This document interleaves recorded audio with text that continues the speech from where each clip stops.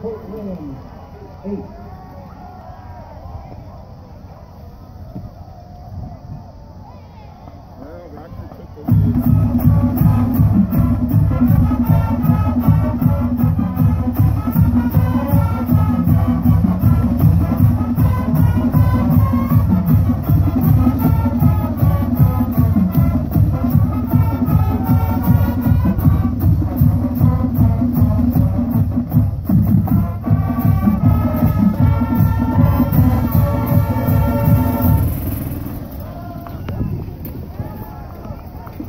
Ladies and gentlemen, before the presentation of the district championship trophy, let's acknowledge these two fine teams for their achievements this year and their play tonight.